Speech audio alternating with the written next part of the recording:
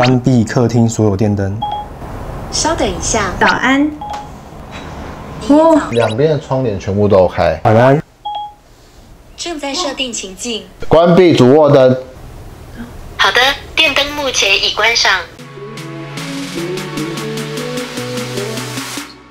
Hello，大家好，我是 Taylor，欢迎收看今天的六十秒访问。我们今天要带大家看，本期片段不仅锁定费力人，由于长征之其实我们参观那么多间，所以我觉得这边所以方正是啊是啊是啊，我们的格局非常大的，打造新大楼跟透天。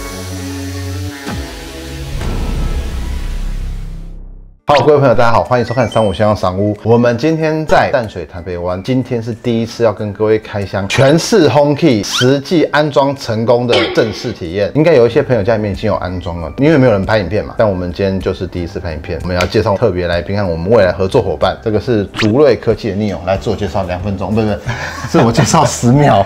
呃，大家好，我是竹瑞科技的 Neo，今天就由我来跟大家介绍 HomeKey 的部分。伟志，我三五房管家伟志，他今天是第一次来体验，因为毕竟这个东西很新，房屋管家做的东西已经很多了，我们也是出体验给大家看。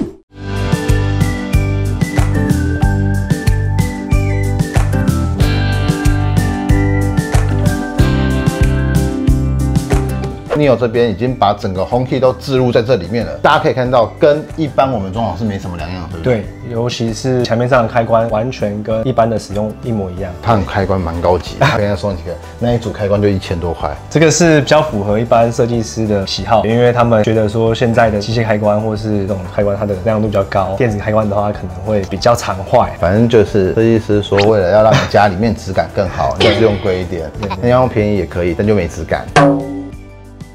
今天大概分几个项目体验给大家看。就用这台 iPad 来跟大家介绍一下 HomeKey 的操作。在一般的情况下呢，用手机跟 Apple Watch 甚至是耳机都可以去做操作。这台 iPad 呢就会扮演这个 HomeKey 居家的一个中枢的角色，透过 iPad 或是 Apple TV 或是 HomePod 来在外网做一些连线，透过 4G 再透过 iPad 来控制家里面的配件。我们现在看看这里面有什么。来，伟志，你看一下，念给大家听。这边有客厅的砍灯、客厅的投射灯、客厅的电视墙灯。这些是已经开启的东西，对不对？对没有亮是什么意思？哦有亮的是已经开启的。没有亮代表它现在是关闭的状态。比如说现在门锁是上锁的，HomePod 的话现在是没有在播放音乐，主卧冷气现在也是关闭的状态，客厅的冷气是在哪里？在这边。好，是客厅冷气点出来，还可以控制温度，哦，听到哔哔哔的声音。在降温。窗帘的话，像公共空间的窗帘，它是可以精准控制到开合的。帕数，可以看它已经到了五十帕，所以这边有两扇窗帘纱，对。纱帘跟分开窗帘是分开的。对对对对，就是两个把，要几趴就几帕，位置操作看看，长按，按住不放。对，然后去拖动它。如果要全开全关的话，可以直接在外面做点击，全开，哦，点击就是百分之百。对，一百跟零，哦，对，全开全关，长按就是调调整细项的，对。如何？你家要不要装个？好的。主要还有全室的灯光，嗯嗯，都有做，所以可以看到哦，那我有办法客厅全亮还是怎么样？关闭客厅所有电灯。稍等一下，好的，目前已关上。哇，客厅它有三个项目是它其实有蛮多灯的，包含吊灯，它会帮你自动去控制这个里面所有的电灯。打开客厅所有电灯。好的，通常做完了 HomeKey 的全室装潢以后，就一定会有一台 iPad，这个是他原本的 iPad，然后这是他自己随身携带的 iPad。晚安，他他会把接力灯打开。哦，对对对对对对对，所有的智能家电只要安装好以后，接下来的情境也是克制化的。对，现在我在增加一个情境，Apple 它有一些建议，比如说早安、晚安啊、返家啊这些情境。刚刚他已经把早安设定好了，所以现在有早安跟晚安。居哪测试？晚安。不是不是，你要么用讲的，要么用按的，你不用自己告诉自己我现在晚安。晚安是再一次是全关，对不对？对。那我们现在来操作早安，但我们这次你用讲的，不要按。早安。你也早，他说你也早，你 你看，早上两边的窗帘全部都开，这才是真正的智能家庭。它不是单纯遥控一个东西，还是声控一个东西。我们讲一句话，它可以做很多事。如果是你自己使用的话，你觉得你需要哪些功能？有可能做不到，没关系，你说说看。送食物，送食不行，思雨还不会做菜。黑丝蕊，你会煮菜吗？举手之劳。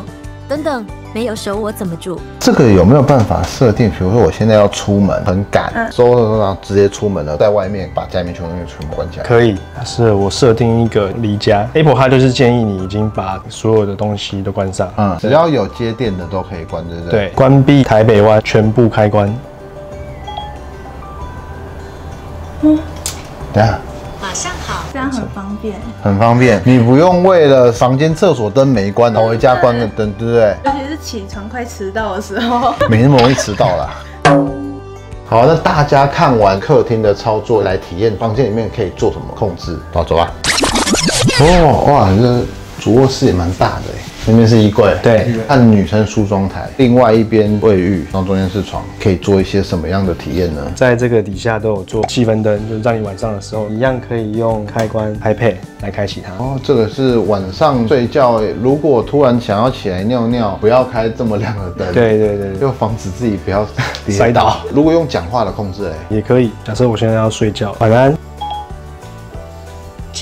正在设定情境。现在在研究功能，不是在研究漂不漂亮啊？没有啦，漂亮也很重要。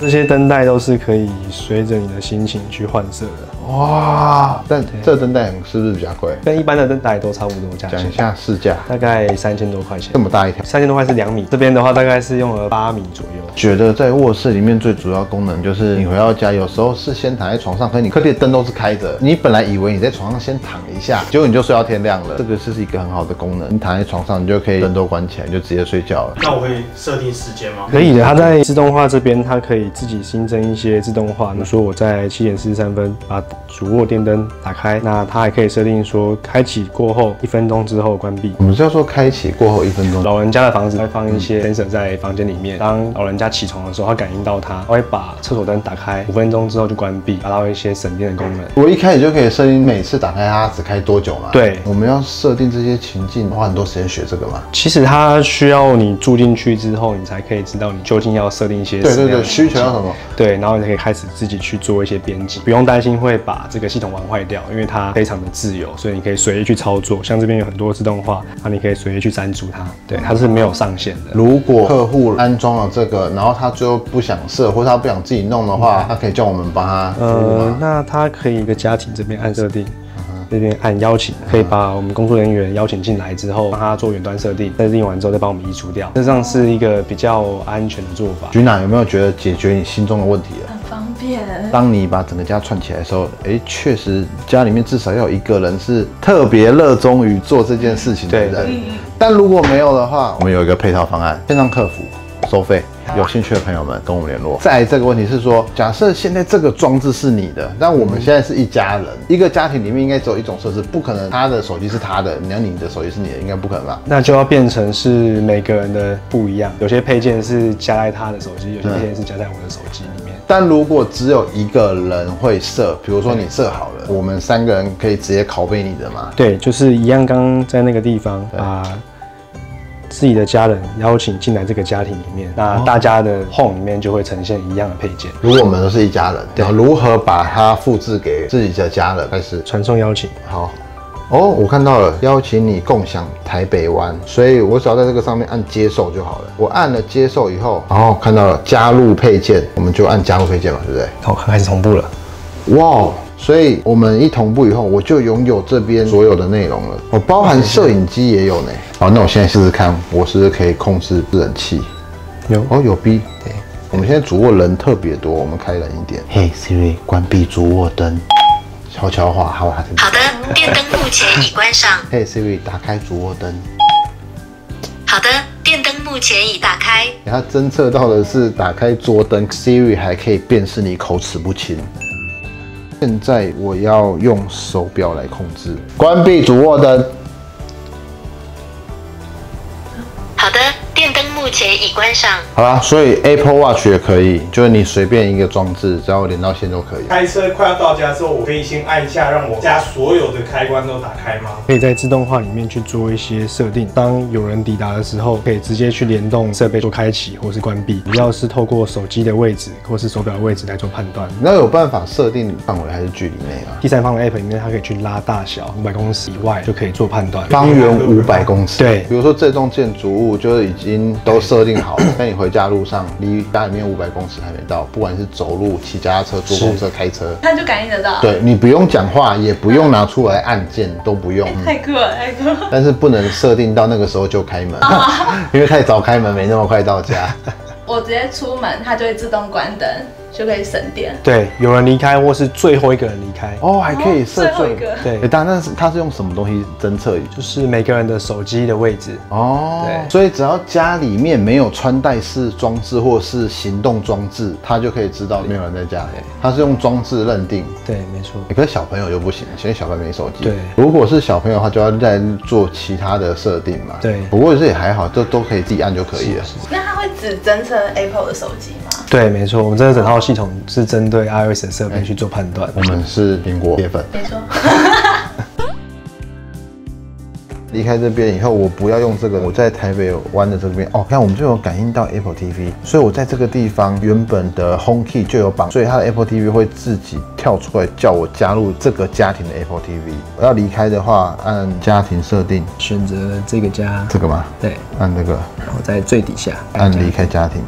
OK，但是我刚刚是受邀者，所以我是访客身份，有分管理员身份还是什么？第一个去加入这些配件的，就是主要的管理员，只有他可以去操作这些，不管是邀请，哦，只有他有资格决定谁可以进来，谁不要进来，或者是谁进来了，我把它删除。对没错对，设定的人不要离开。对对，当然，我有看你的系统里面，你有很多个地方，是所以你又可以做不同的切换。就像我还有一个是公司的嘛，但你有公司工作室、自己家里面修路，还有其他的房子，对对很有钱的意思。接下来这段我们来测试一下 Apple TV 和 HomePod。现在这个 HomePod 讲话，它就可以操作家里面了，对不对？是没错。现在用 iPad 来当做是 Apple TV 的遥控器，这边控制中心里面可以看到这边有个遥控器的选哦，项。因为原本只要有连 Apple TV，它就会有一个遥控器的选项在里面嘛。那好，对先操作它。好，Apple TV 已经跟 HomePod 做联动，所以它其实声音是由 HomePod 来做播放。这边就是跟大家讲一下，其实不管你家旧的房子正要装潢、买新房、盖房子，都都是不同的进入方式。对讲一下后装市场、半前装和前装，专业来解答一下。分为几个阶段。新公司一开始就要盖房子的话，我们把它归类在前装市场，搭配工程的部分一次就把它装在电箱里面。客人交屋之后，它就是智能宅。第二部分是属于半前装，可能是毛坯屋，那交屋之后他要做装潢的时候，然后我们去安装，那是属于半前装的部分。后装的话就比较偏向 DIY，可能自己去买一些开关啊、插座啊，后来做安装。如果你家你只是想要先体验的话，可以买一些简单的智能插座，那是现成的成品，概念有点像外接的，就是直接插上插一个智能插座以后，我再把我原本的电器的插座插上去，只能体验可能一个项目一个一个项目可以做的情境和整体的配合弹性就会小一点，整体的应用也会少啊，毕竟还是要 WiFi 啊。对还有一个问题就是，如果你家要装几十个插座或是几十种灯，每一个插座都是一个装置的时候，最后你们家的 WiFi 会扛不住。今天就是简单跟大家去分享 Apple HomeKey 实际在居家整体的配合。这一个房子已经把基本可以安装的全部都安装了，当然还有很多进阶的东西。是，例如说清净机、电风扇，还有一些比较特殊的，像水龙头。哦，水龙头那个成本比较厚一点。对还有一个是它会室内侦测湿度，就去开除湿机。这是像一些 sensor，它会做到多合一感测器，那就可以去做联动。比如说，当温度低的时候去关闭冷气，温度高的时候去开启冷气。我们要讲的东西真的是我不需要去按，那个其实只叫做远端遥控，不叫做真正的智慧啊，或是智能宅的应用。如果我一定要把手机拿出来按，手表拿出来用声控的，这个都叫做远端遥控，